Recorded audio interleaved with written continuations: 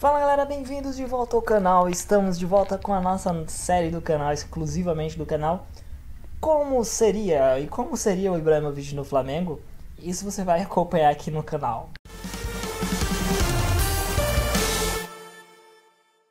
Ah, meu amigo, não deixe de passar no Brasfoot Amazing ou Amazing. E link está na descrição. Lá tem pet, tem skin, tem tudo pro seu Brasfoot pra ficar top demais. Top demais. Antes de começar o vídeo, se inscreva no canal e marque o sininho, é importante galera, marcar o sininho para receber as notificações de novos vídeos, para que você não perca nenhum vídeo aqui do canal.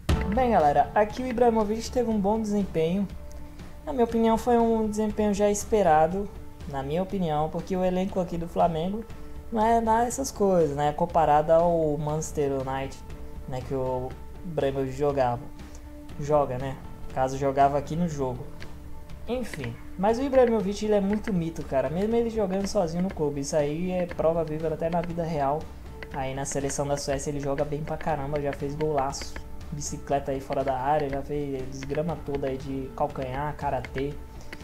Então a gente analisou aqui né, no Flamengo. Eu tentei analisar várias táticas. Né? Nessa análise aqui eu não mostro os jogos porque fica muito grande o vídeo, vai ficar muito chato o vídeo também. Eu mostro só o resultado final, né? Como eu fui de... por incrível que pareça, né? Como eu fui demitido aqui do time, consegui ser demitido mesmo com o Bregovic aqui no, no clube, por causa do salário, né? Ficou muito alto, 207 mil. O Flamengo não conseguiu sustentar o Ibrahimovic. Acabou que terminou com menos jogos do que da outra do Cristiano Ronaldo no Barcelona. Se você não viu a do Cristiano Ronaldo, vá lá na playlist de como seria, que lá vai ter todos os vídeos dessa série. Então aqui o Ibrahimovic ele teve uma boa pontuação, uma boa pontuação, né? Pontuação, não sei porque eu estou falando assim, mas a gente vai olhar aqui a pontuação média dele. Ó, ele, ele provavelmente vai ser bola de ouro, tá? Bola de ouro do Campeonato Brasileiro, Ibrahimovic.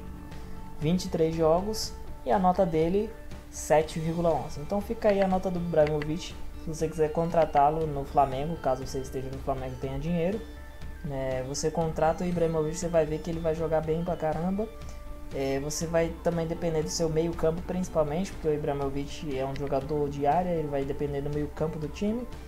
Mas ele rendeu muito bem no Flamengo, não meteu gol, mas teve jogo que ele tirou nota boa mesmo sem ter feito gol, então quer dizer que ele faz muita diferença no time também. Eu coloquei ele como capitão também, como batedor de falta e coloquei ele em vários tipos de formação, ele sozinho no ataque, ele com dois atacantes, ele com mais um atacante. E funcionou de todas as formas, funcionou do mesmo jeito. Ele foi bem em todas as formas, porém ele não meteu tantos gols, acredito que do meio campo, acho que teria que reformar aí do Flamengo. Nessa série, como havia explicado, eu não reformo o meio campo, né, para deixar bem mais assim, vamos supor, entre aspas, realista. Foi legal, foi legal jogar com o Ibrahimovic no Flamengo.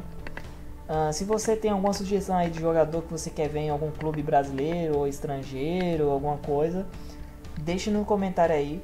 Comente o jogador, o clube que você quer ver e comente aí, cara. O comentário, uh, o espaço é seu. É seu espaço de comentar. Então a gente vai ficando por aqui. Muito obrigado por ter assistido o vídeo, ter tido a curiosidade de ver como foi no, no Flamengo. E até o próximo vídeo, como seria, né? Como seria? Talvez eu faça aí um de Soares, Soares e é, Soares no PSG, que eu tenho curiosidade de ver o Soares e o Cavani junto aqui no Brasil para ver como é que fica. Mas é uma sugestão, vocês podem dar outras sugestões aí para o próximo vídeo. Falou, batatas, tchau.